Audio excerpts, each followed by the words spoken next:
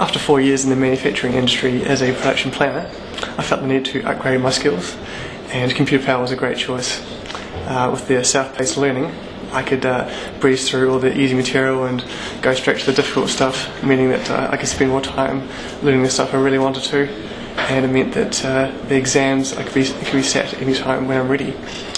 Uh, the flexibility of the hours means that uh, I can still work and, and study at the same time. Also means that while I'm studying, I can apply my new skills my, in my job, which is great.